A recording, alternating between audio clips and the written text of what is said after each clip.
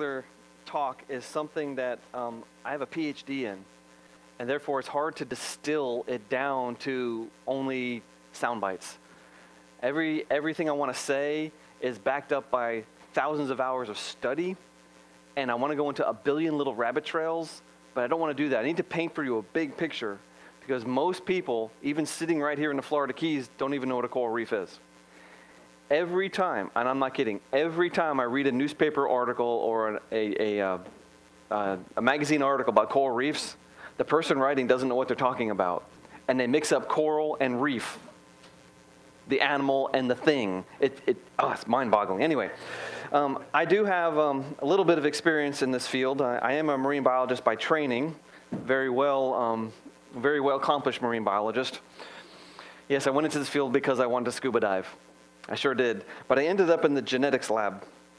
I was studying these animals, these beautiful, beautiful animals. And I was looking at the coloration.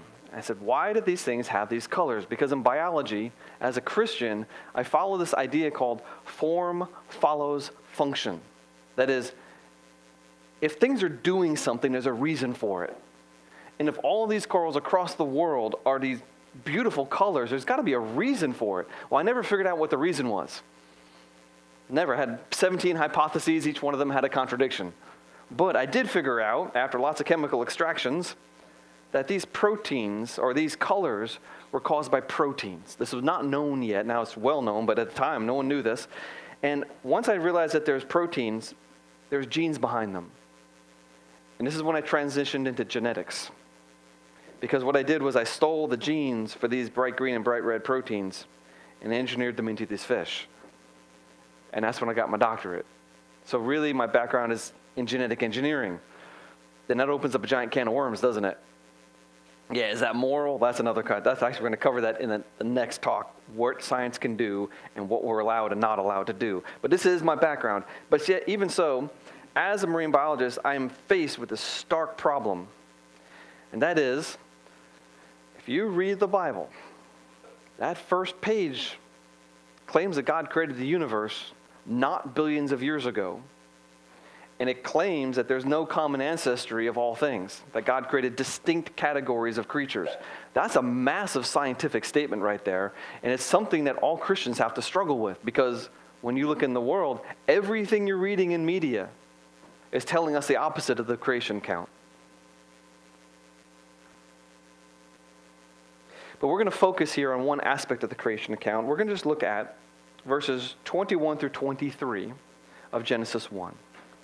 And God said, Let the water swarm with swarms of living creatures. So God created the great sea creatures and every living creature that moves with which the waters swarm according to their kinds. And God saw that it was good, and God blessed them, saying, Be fruitful and multiply, and fill the waters of the seas. Now, we're going to be talking about a very small subset of these animals that are in the seas, animals that make coral reefs. And it works like this we have a group of animals. Now, Kingdom Animalia is full of a lot of amazing things. But we're talking about a subset of animals. That is, just the little things that have stinging cells. Corals, jellyfish, hydras, sea anemones, anemone, they, they have stinging cells, okay? But a subset of those are the flower animals, anthozoa, flower animals. Those are corals, hard corals and soft corals. But soft corals don't make coral reefs. It's the hard corals. The sclera in um, scleroderma is a thing where you get hard skin, sclero. The scleractinia are the hard anemones. Do you know what the difference between a coral and a jellyfish is? This is a jellyfish. This is a sea anemone. This is a coral. Same basic anatomy. All these animals are very similar. One has an exoskeleton, one doesn't. One swims, one doesn't. So it's a big group of animals, but when we're talking about coral reefs, we have to talk about the ones that have a skeleton. And we're talking about, as far as I'm concerned, the most beautiful animals in the world. For a long time, scientists didn't know these are animals. They thought they were plants because they don't walk. But then again, if you're a scientist in 1800s, how do you study something in the ocean? You have no way of getting there. You might dredge something up and put it on, a, on your boat and say, What's this slimy thing? You don't have a clear glass aquarium yet. You put it in a you know, a wooden bucket, I guess, but then you really can't see. It was really, really hard to study these things. It took them a long time to figure out, oh, these are animals. Beautiful and amazing animals. So, what is a coral? It's a jellyfish like animal that has an exoskeleton. Okay? Now, I wish newspaper reporters knew that basic science, but they don't. Corals and jellyfish are based on a specific body plan called a polyp. It's really amazing. It's just a, a circular thing with some tentacles and a mouth in the middle. But it's limited. There's not much you can do with that body plan. If you slice one in half, you see that they have a, an inside, a gut. Um, their mouth is also their anus, though. They only have one hole. So anything they can't digest, they just spit out their mouth again. And they have stinging cells, and they make an exoskeleton. I, there's a reef out, I don't know if it's still there. I mean, the reef is still there. I don't know if the coral's still alive. But the, the National Marine Sanctuary put a buoy on a patch reef out off of Key Biscayne. Um, know, 20 years ago, and they, we saw this new buoy as we are driving past. Like, what's that? So we anchored, we jumped in, and there was literally a little patch reef as big as this room, about that high and literally about this big. I'm swimming around it, and I realized it was one coral, one animal, but he's only that thick. His body had the surface area of this, but he was only that thick because of his exoskeleton had built up over time, produced what we call a coral reef. But it was really a coral colony. But it's not really a colony. I'll get to that in a second. Oh, here we go. Boom. This is a mushroom coral. This is about as big as a single polyp can get. Because if you think about it, they have to feed themselves through one mouth. You can't be this big and get all your food through your tentacles, passing, passing, passing to one mouth. It takes too long. You get very hungry. So corals are limited in their size because of this polyp shape. So what do they do if they want to grow bigger? Well, they have a couple options. One, they can squish and make their mouth longer, or they can divide themselves up into one animal with hundreds of mouths. It's not a colony like a colony of penguins we have a bunch of individuals. This is one animal. It's a very simple animal, so if you cut it in half, it grows into two. But if you set these things next to each other, as they grow, they'll merge back into a single animal again.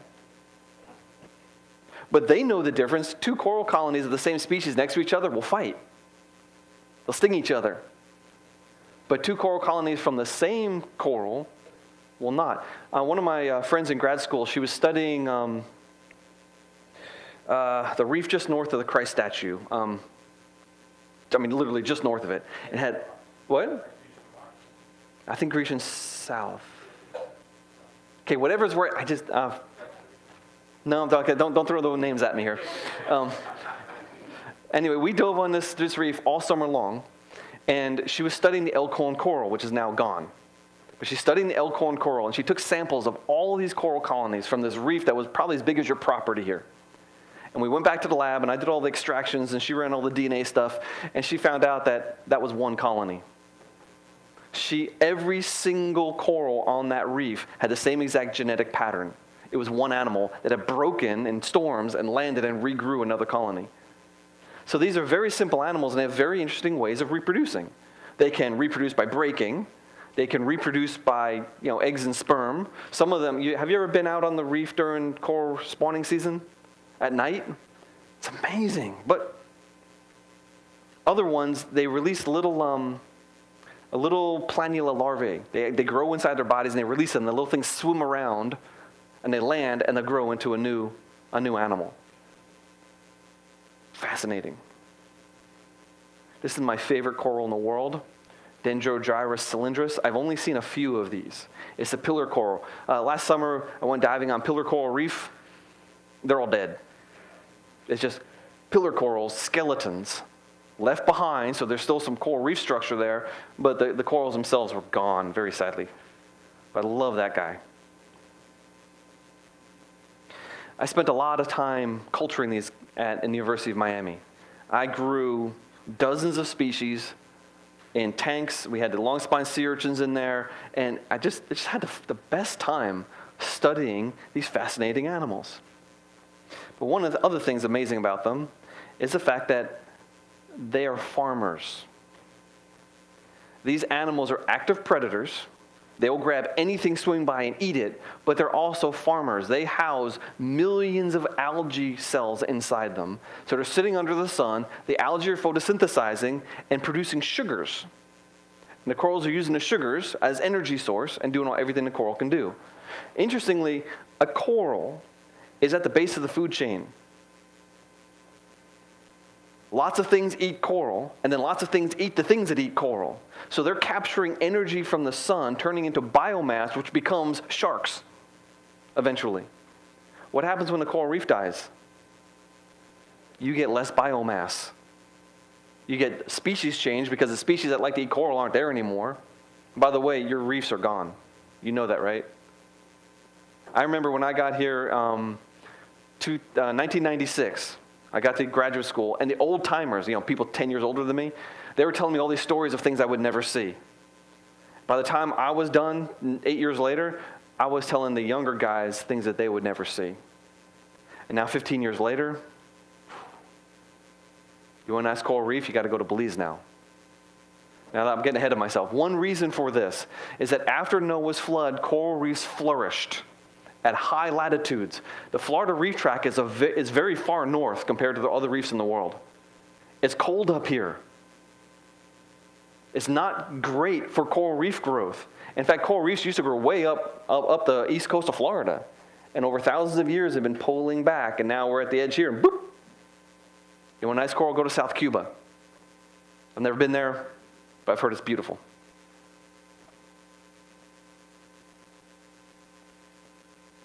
Sorry, get my finger on the right button here. When most people think of coral, they think of a skeleton. I've got skeletons on my desk. I've got skeletons on my shelf.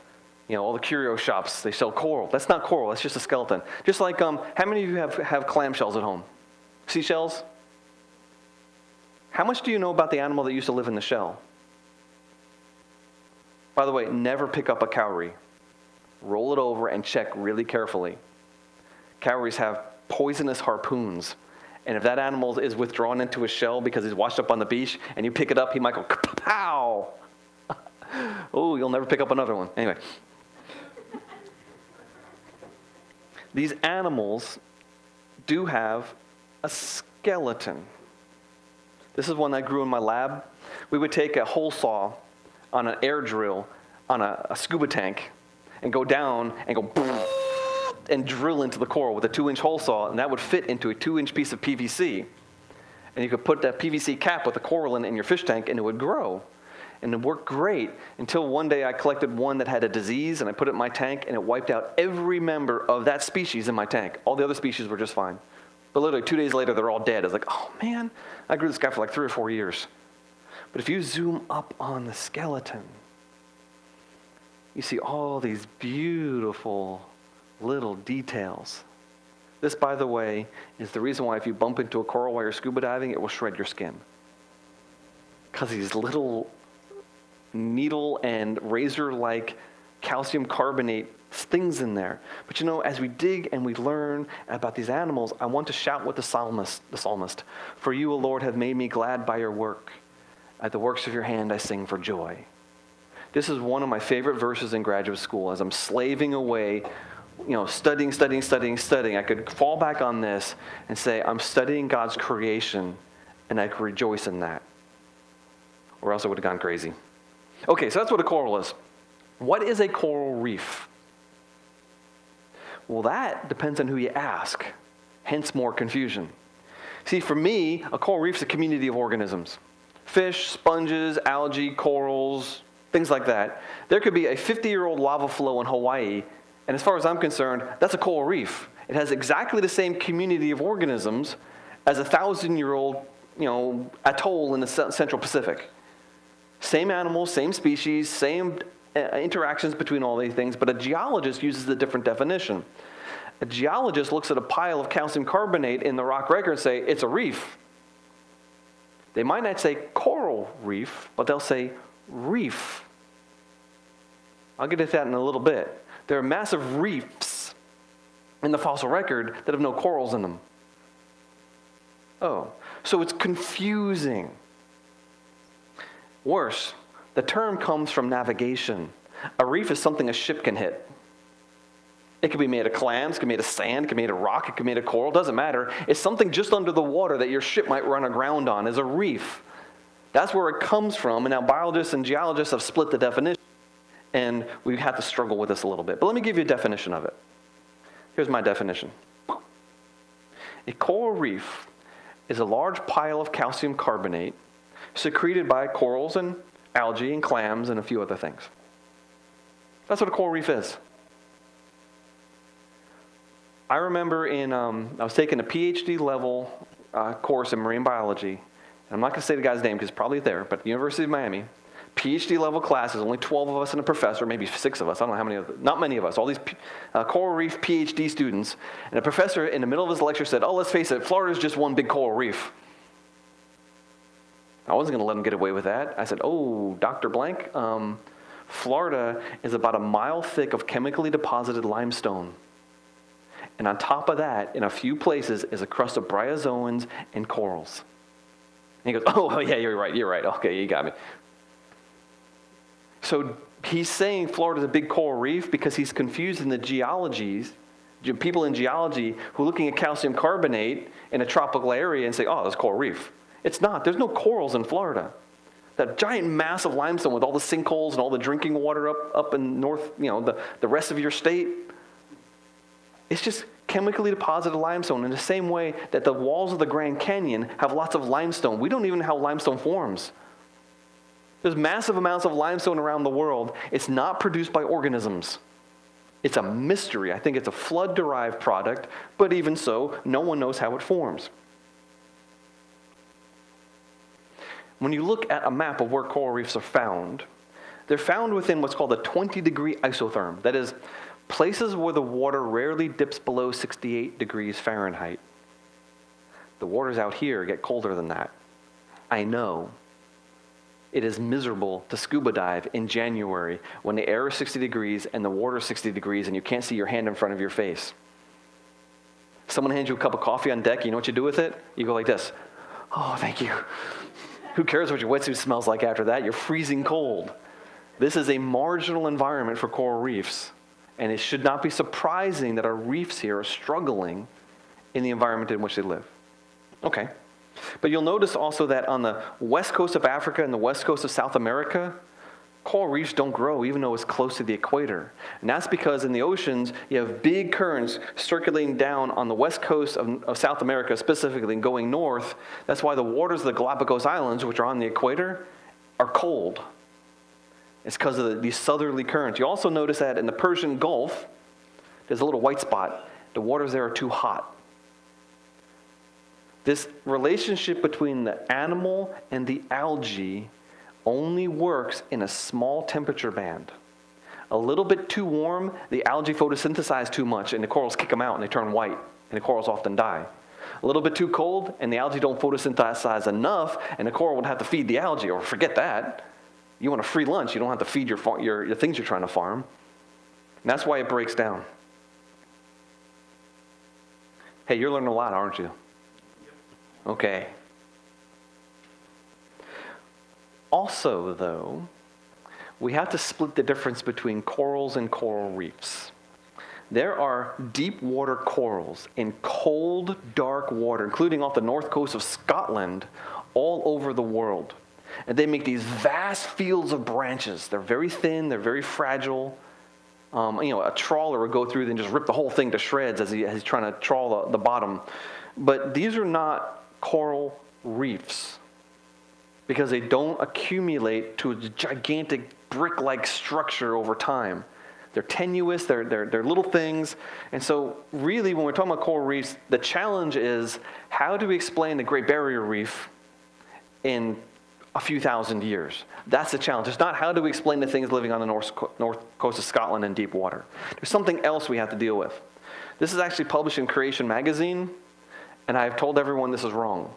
This is published years ago. That is Pocillopora damicornis coral. It's a weed. It grows really fast. You could take this, put a glove on your hand, and you could crush the skeleton. It does not produce a heavy, thick skeleton It grows really fast. We had these in our, our lab at UM. I literally had to take a chisel every couple of weeks and chisel away the corals growing on the drain pipe. Or they would have blocked the drain. They grow so fast. We started with 25 little sprigs. And two years later, I had thousands upon thousands of them. And my, my, the way I did it, I would take a pair of pliers, break it off, put a piece of crazy glue on a rock, and, and it would just grow. And I, they multiplied like crazy. So the question of how fast does a coral reef grow, we can't appeal to the fastest growing corals. Oh, they grow at a foot a year, therefore coral reefs grow at a foot a year. No, coral reefs do not grow at a foot a year. Even if some corals do, because the other corals don't. And there are fish eating the corals that are growing at a foot a year. So, coral reef growth is the accumulation of the coral growth minus how fast they get eaten and how fast storms break them and how fast they erode and dissolve because corals do dissolve. The, the skeleton, the aragonite skeleton, is very soluble in seawater in some ways. Okay? So, our big challenge really is explain something like the Great Barrier Reef. Anyone want to take a guess how we explain this? Is it that daunting? Let me give you a hint. The Great Barrier Reef is not very deep. Corals in the Pacific specifically do not grow 100 feet, 200 feet down. The Great Barrier Reef is shallow. The reason the reef is there is because it's an underground limestone ridge that the corals are growing on. The same is true in the Florida Keys Reef Tract. There's a crust of corals growing on top of limestone. It's the same limestone that's in Central Florida. The reason the reef is there is because there's a place for the corals to grow after the flood. Oh, so we don't need thousands upon thousands or even millions of years for the, in fact, in the evolutionary model, there was an ice age that ended about 10,000 years ago. During the ice age, water levels were about 300 feet lower than they are today. There was no Great Barrier Reef 10,000 years ago. It was dry land. So if they think the whole Great Barrier Reef grew in 10,000 years, great. I say the whole thing grew in 4,000 years twist my arm. It's about the same number. In fact, the Great Barrier Reef isn't growing anymore because it reached sea level. It stopped growing. It can't grow anymore. And it can't get wider. And the reason for that is as a reef gets wider, it, it starts build, building a, a hill. And as, as all the shallow water is taken over, how do you grow wider? You would have to grow coral reef from 300 feet down all the way to the surface. So what happens, in fact, I've done this um, in Belize you jump in this absolutely gin clear water. It's 80 feet deep, and you can swim out over the 300 foot drop on the edge of the reef. It's straight down, and you can see murky blue blocks, which are coral fragments that have fallen off the edge of the reef and fallen down and died. It would take forever for enough things to fall off and pile up that the edge of the reef would grow sideways. So we don't have to explain massive deep growth of reefs. We just have to explain how things grow on the cap of something. And I think we can do that pretty easily. Because corals are limited by sea level. This unbelievably fascinating place in West Australia, during a full moon, low tide, with an offshore wind, the entire coral reef comes above sea level. Now, if this happens in the middle of the day, a lot of these colonies will be baked and the tops of the colonies will die. So they, they, don't, they don't grow any taller. This is the absolute limit. Okay, so how does a coral reef grow? This is something uh, from one of Charles Darwin's books, 1842, The Structure and Origin of Coral Reefs. If I ever teach a coral reef class, I'm probably going to have all my students read his book because it's an amazing book. Here's a future scientist. He's a young man. He's traveling around the world and he keeps visiting all these coral reefs and he has no idea how they form. He, so he's speculating like crazy, maybe this and maybe that and maybe this. And it's a fun, romping ride through this young man's exploration of crazy things.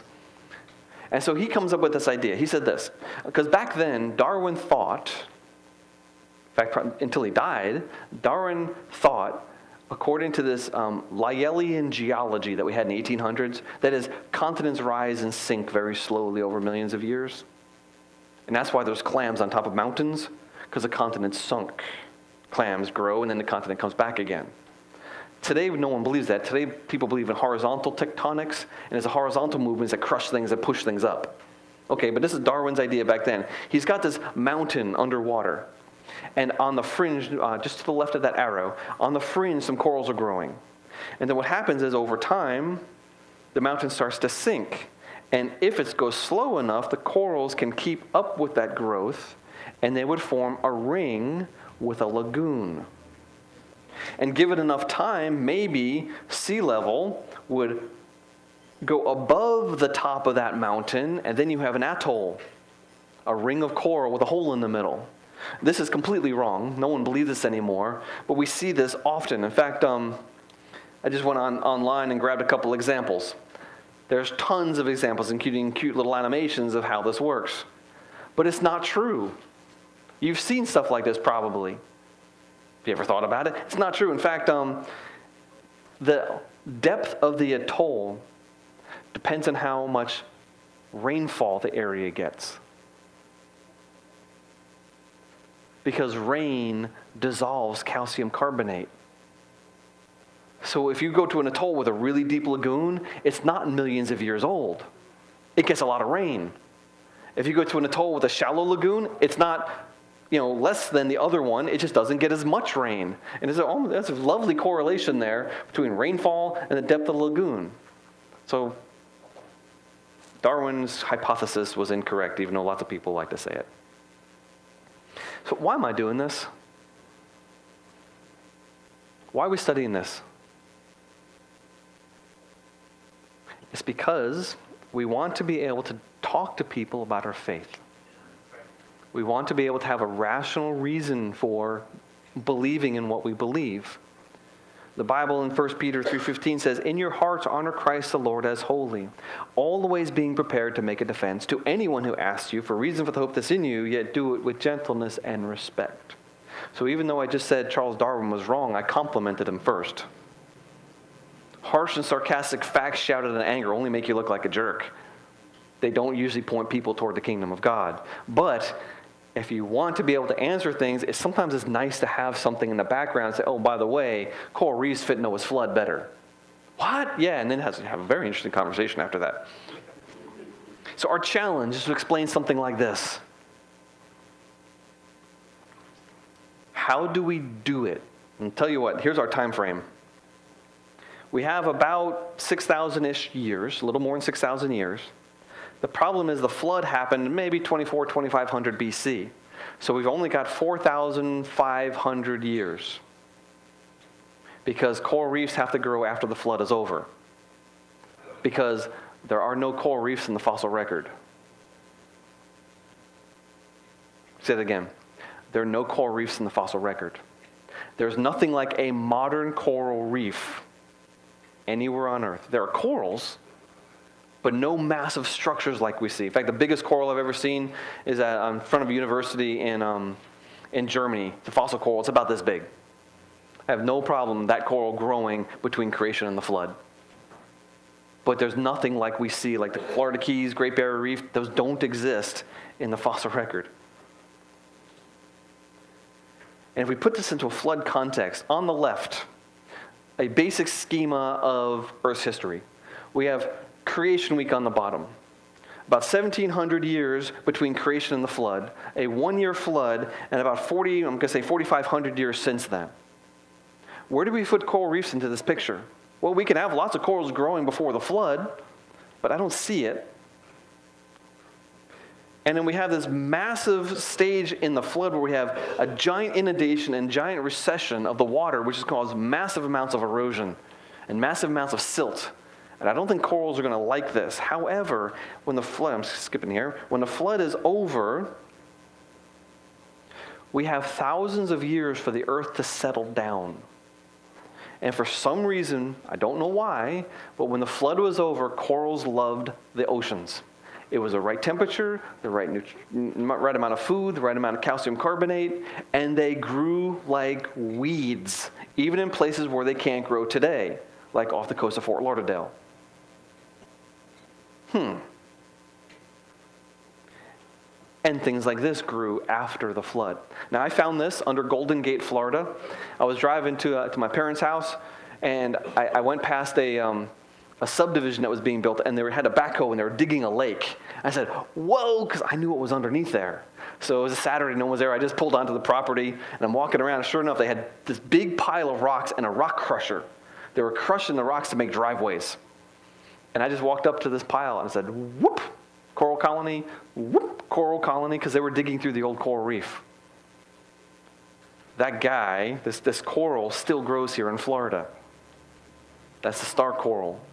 Orbicella faveolata. It used to be called Montastraea faveolata. They changed the name on me. Crazy. Anyway, amazing, amazing, amazing.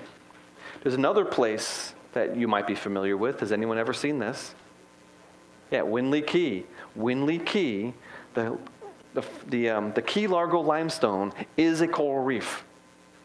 Clearly, if you zoom up on it, you see all these corals the corals that still grow here. In fact, based on the animals gr- that used to be growing, this reef probably was developing in about 30 feet of water.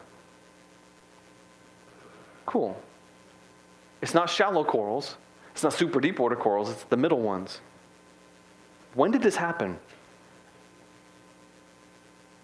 When did this grow? Because clearly this grew. It's not an accident, it's a coral reef. When? Well, it's sitting on top of a lot of chemically deposited limestone down there that would have been deposited during Noah's flood. There's no fossils in that material. Just who knows how it forms. This formed after the flood. There's a band of sand dunes in Georgia, down the middle of our state. It runs from Texas to New York City. A band of sand dunes with shark teeth in it and shells. It's at 80 feet elevation, and it is the old shoreline. After the flood was over, the flood water, the, the water levels in the oceans were about 80 feet higher than today. Florida was underwater. The Florida Keys were underwater. You had a coral reef growing here in the ocean that we're now standing on top of. And then the Ice Age started. The Ice Age lasted for a few hundred years. It was the heat from the flood, all that volcanism things that led to all the evaporation, that led to all the, the snow and ice falling on the continents. Well, when that started, about the water sea level dropped about 300 feet, leaving everything that was living in the first few centuries after the flood above ground and then a little bit of rainfall and it redissolution and recementation and this, this coral reef turned into a giant block of rock. In fact if you look at the geology of florida florida is a very wide limestone platform. That coral that i just showed you came from there when florida was underwater This is the, um, the Florida, the uh, the Key Largo limestone with corals in it, just like the other place from the other, the other place. This is where I used to live in Miami. Miami is a bunch of sandbars that fuse together. When they first settled Miami, one of the first places in Miami to settle was Coconut Grove. Why? Because it was a high point. There was less mosquitoes. And they settled the highland before they drained the swampy land. They're on top of all the old sandbars. In fact, it's made of this stuff called oolite. I just picked up a piece yesterday. Down the other end of the seven mile bridge, and there's all this Key Largo limestone that they dumped there for a breakwater. And I'm looking at the original rock, and there's this oolitic rock, and I picked it up. What it is is these spontaneously formed sand grains. When water gets warm, calcium carbonate is not soluble. It precipitates out. And if there's a little grain in the water, it'll, it'll get a coat of calcium carbonate and then another coat, and another coat, another coat, and turns into a sand grain. It can literally snow in hot water as these sand grains that are just being formed fall out of the water column. And that is what the lower keys are made out of oolitic sand, just like Coconut Grove and other places in Miami. In fact, the Bahamas are made out of them too. The Bahamas are like a mile or more of sand that was spontaneously snowed out of the, out of the, out of the oceans because the water got too hot. The calcium carbonate wasn't soluble anymore. The, the fossil record is really weird because there's a lot of calcium carbonate in the fossil record. And it's weird also because we have a hard time explaining where it came from. But the oolitic sands, we think we know where they came from. They came from hot water. Okay? So if I showed you a picture of the extent of the ice age, this is the black areas are areas that were covered by ice during the ice age. Notice that eastern Siberia is not covered in ice. What? Thousands and thousands of elephants called woolly mammoths lived in Siberia during the ice age. It's too cold for them today. Elephants can't live there. They lived there during the ice age? Yeah, because the ice age was actually warmer. The Arctic Ocean wasn't frozen. There's an island, a chain of islands about 100 miles off the north coast of, of Siberia. It's littered in elephant bones. Because woolly mammoths used to live in the Arctic Ocean. What?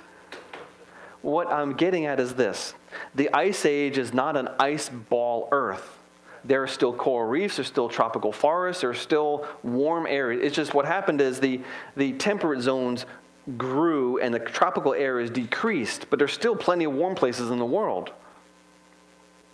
And during all this ice buildup, water level dropped. If you get in a submarine and you go to the Great Barrier Reef and you go down about 300 feet, you'll see an old beach. The waves have etched a, a, a shelf in the limestone because that's how deep the water was, the, the surface of the water was.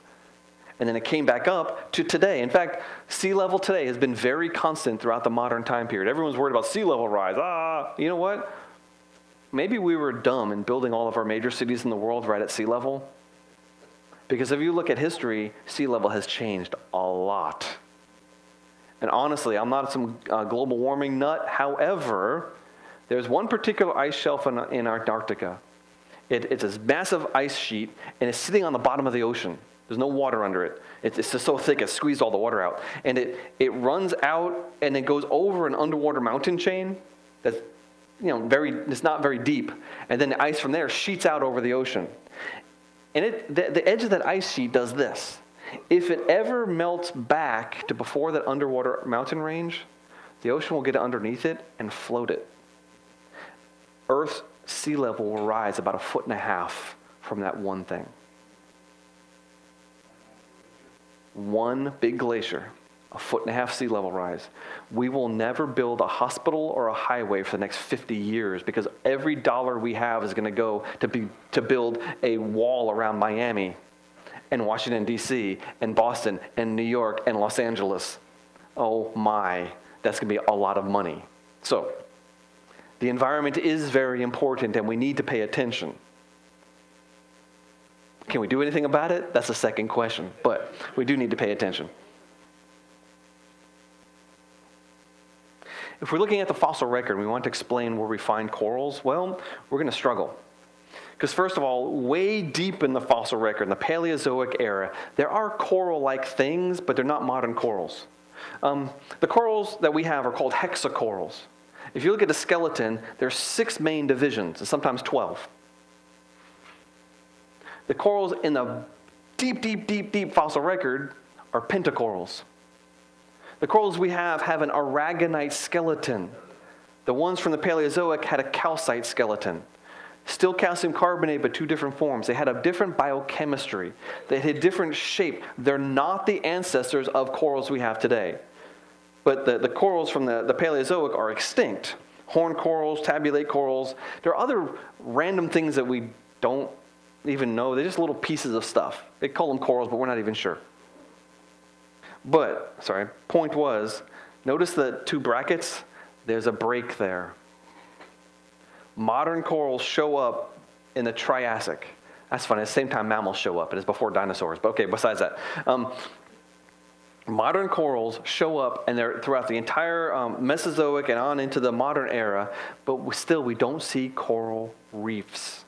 And the reason is the time is not there. If you have corals, you should get coral reefs, but you don't. Because it didn't really, the millions of years is actually not there. I was a, um, I had a roommate at one point who's from Germany, and he had taken a, a trip with a geology class to, um, to one of the mangrove islands just off of Key Biscayne. And he comes back and he's hopping up and down with excitement. He goes, I can finally explain the coral reefs of Germany. I said, What? What coral reefs of Germany? He goes, Yeah, where I lived, farmers are constantly plowing up corals in their fields. Really? Well, it turns out that the corals they're growing, that they're finding, are corals that grow off, off here in very shallow water in the seagrass beds. So he goes, My answer is this area of Germany was a bay that must have connected to the Mediterranean, and it was very muddy, and this same exact types of corals, these branching Porites corals, were growing there. And then I said to myself, Yeah, a few thousand years ago, for a few hundred years, then the water level dropped, and now they're marooned. But I didn't tell him that because, you know, I was shy. All right, let me give you a couple case studies. These are challenges. In fact, I went to say, here's the three things that I want to discuss, and then I, I found out that the old age creationists and the young age creationists had both argued about this over several decades. So I think I picked up a couple of good examples. One, the oil reefs of Canada. When people are looking for oil in Canada, they drill down. If they find a reef, and I'm putting it in scare quotes here, if they find a reef, there's oil underneath it because the calcium carbonate or the salt caps it and the oil can get trapped, and that's where they drill. Now, this actually, um, I'm pulling from Dan Wonderly's uh, book, God's Time Records and Ancient Sediments. I completely disagree with this guy, but I'm using his examples anywhere. I remember I was in, um, in a marine geology class and I asked a world famous marine geologist, I said, Dr. X, I know all these examples of corals on the surface. We're studying coral reefs. They're all right here, right near the surface of the water. I can explore them. I don't have any examples of coral reefs in the fossil record. Do you know of any? And he stopped and he thought. And he knocked his earpiece off. And he thought and he said, Oh, yeah, yeah, the reefs of Canada. They use them for oil prospecting. I said, Oh, he got me. Then years later, I realized that these reefs aren't reefs. If you do a cross section of this area, you can see some pinnacles. You see those three pinnacles? Well, if you contract, if you squish it this way, they look like they actually stick up. But if you stretch it out to the real size, they're, they're, they're like this. It's not a pinnacle. It's not a reef, but the geologists are calling it a reef. There's no corals there. In fact, there's no structure. To get a coral reef, you need things to weld together, a structure. This is mud. It's a calcium rich mud that the geologists are assuming was formed. But it doesn't say coral. See, they just say reefs, they don't say coral reefs. You need a structure. Worse, this the brown material there is what's called halite. It's alternating bands of sodium chloride, sodium, uh, calcium carbonate, and calcium magnesium carbonate, which is also called dolomite millions and millions of these bands. And what they say is that every time the ocean evaporated, it formed those three bands. But wait a second. You have a reef growing in an area where the ocean keeps evaporating? No animal can survive that. You're not going to get something. And plus, and plus, you'd have to have this reef grow at the same rate as all this stuff is building up around it. This is a toxic environment. In fact, there's no evidence that, this, uh, that these banding patterns are actually produced by an evaporating ocean because there's no fish. There's no other things you would expect. Nope, skip here. How about this for an example? Maybe these little things that we see, these giant things, these mounds we see, have been squeezed up from below. We have examples of that. It's called a fluidization pipe. Here's one in Africa. This brown material is made of one thing, but the girl standing next to something that's made of the stuff under her feet. It's been squeezed up through a crack. Wait a minute. That means the material under her feet was not solid rock. And this other stuff was laid on top of it, and the pressure squeezed some of it up, like toothpaste. Oh, oh, that's cool. Here's another example the Capitan Reef. Notice put reef in quotes. Is it a reef? Well, from what you know, what do you think I'm going to tell you? Is this a coral reef? No. Is it a reef? A reef needs structure. This is mud. But if you look at, a, at, at the, uh, the area, it looks like it has a lagoon. If you look at it sideways, it looks like it has, has reef like structure, wave created patterns. But again, See all these bands? That's the halite. There's no reef here. You don't get reef in, a, in a, an evaporative area, but there are sponges in here. And the sponges, the, the, they, what they've done, they, they take the, the rocks and they cut them and they look at them. And if they find a circle, that's a sponge. If they find an oval, it's a sponge lying on the side. And they said, most of these sponges are upright. Therefore, this was an intact sponge reef. The thing is, as someone pointed out later, wait a minute, half of your ovals are actually upside down. Half your circles, I mean, half your circles are upside down. Therefore, if you take out half of your upright ones, the coral, the sponges are random. They've been washed and piled up in this giant mud bank that then petrified and became the Capitan Reef. It's not a reef. In fact, Ariel Roth, a, um, he's a Seventh day Adventist, works at Loma Linda University, and he's a coral guy. He writes this He goes, One of the main problems with the traditional reef interpretation of the Capitan Reef complex is a lack of reef frame builders. It's not a reef. The massive reef core consists mainly of fine calcium carbonate mud. The robust, wave resistant reef frame builders of our present reefs are missing. Why do I say all that? Because we don't need to be daunted. The third example I want to give you is Eniwetok Atoll, which famously got blown up by the US government by nuclear bombs. But before they blew it up, they drew two deep cores in the reef structure, and they went all the way down until they hit the volcano. This giant atoll, which is about a mile thick, is sitting on top of a volcano. Oh, well, there's several different ways we can explain now. How do we get a mile thick reef to grow in like 4,000 years? Can we do that? Well, you only need uh, how, how, uh, 5,000 feet of reef growth in 4,000 years. That's about a, a, little over a foot a year. But some corals can grow that fast. But remember when I said it's not the rate of coral growth? It's coral growth plus how much is being eroded. But something weird is happening here in, in Eniwetok. Sorry, skipping here. That is this the currents are so strong that have you ever seen a, have you ever been scuba diving or snorkeling and seen a parrotfish? What happens when you spook the parrotfish? He swims away and he poops out a cloud of powder. What is that? It's sand. He's been munching on corals and grinding them up, and a lot of the, the sand on your beaches is actually parrotfish poop. This is the way it is. They produce a lot of this material that fuses together to make rock. Well, the currents here are so strong that anything falling off the fore side of the reef is washed back up onto the reef. So the rate of reef growth is not how fast corals grow, it's how fast sediments pile on top of the reef. Oh. Oh, it's a sandbar.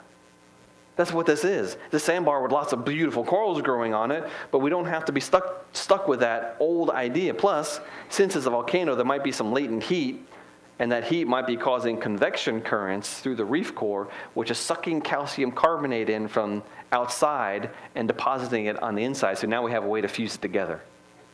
Huh. Okay, last section. The fate of coral reefs. This is Florida. All of those lumps and curves and bulges used to be coral, and now they're dead. And it's very, very sad. How do we deal with this without becoming eco Nazis? Well, let's look at Genesis chapter 3. This is after Adam rebelled against God, and, Adam, and God says, Cursed is the ground for your sake, and toil you shall eat of it all the days of your life. But it's not just the dirt that's cursed. In Romans 8, if you read Romans 8, there's multiple references to creation. It is clear that Paul is teaching the entire universe is being weighed down by the weight of Adam's sin. He says, We now, the, we, for we know it, the whole creation groans and labors with birth pangs together until now. That's just one, one phrase about creation in this whole long passage, which creation is in decay, creation is in decay, creation is in decay. The whole creation is in decay. So we have one explanation here. That is, Coral reefs are under the curse. Environmental degradation should be predicted by the Christian model here. Now, that doesn't mean we should wantonly go out and destroy the environment. We should treat it very well because it's been given to us. See, God said um, to Adam and Eve, Be fruitful and multiply and fill the earth and subdue it, and have dominion over the fish of the sea and over the birds of the heavens and over every living thing that moves on the earth. God put the environment in our care. Therefore, we should make wise choices. And one of the wise choices we're making right now is we are decarbonizing our economy. Now, that's not just the, the, the leftists who are pushing that. It is wise to do this. In fact, um, I just heard about a brand new invention which is going to change your life. They've invented, in fact, the guy who, his guy's name is John B. Goodenough. Love that name. He invented computer memory. He invented RAM. 10 or 15 years later, he invented the lithium ion battery. Lithium ion battery, anyone? I'm sure I'm glad we're not using those lead acid batteries for this. It would be impossible. Lithium ion batteries, lithium ion, lithium ion batteries are driving our modern economy today. Electric cars, same thing. But he just invented a battery that's made of glass. The problem with the lithium batteries is over multiple recharge cycles, the lithium will grow a, a, a, a, a little tendril, and when it goes across the battery, it shorts it out and it's dead. You can't do that with a piece of glass. It's lighter, it charges faster, and has more charge holding capacity. He just blew the battery out of the water, and all of a sudden, we're talking about a thousand mile electric car that can charge in 10 minutes. And it's cheaper and lighter. That will affect everything we do. Anyway, so we should be engaged with environmental issues because they are important for us. But in the end, the environment's going to go to pot anyway. We know that. But at the end of the Bible, God will wipe away every tear from their eyes. There should be no more death, nor sorrow, nor crying. There should be no more pain, for the former things are washed away or have passed away. God is telling us that all of the suffering and degradation in the world now, which is a curse, is going to be removed and all things will be restored.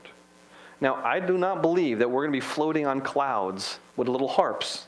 I think it's a very bad impression of what heaven's going to be like. Heaven is going to be a physical world that God recreates. He's going to recreate the world that was once fallen, restore it, and put us back in this paradisical like place. And I think there's going to be coral reefs there.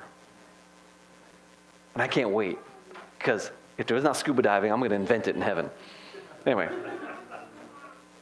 There's a lot more material on this. I've got several articles on this on creation.com, including articles on um, coral reefs, ancient corals um, that some evolutionists like to use to prove that the Earth had more days per year. It's not true, millions of years ago. Um, just that you have to avail yourself. All right, I'm going to stop now. We're going to come back in a little bit. I have a more gospelly message for you coming up, but I'm actually going to try to twist your brains with a lot of fun thought experiments to figure out how we know what we know and how do we apply that to the world and to talking to other people about the gospel. Thank you much. See you in a bit.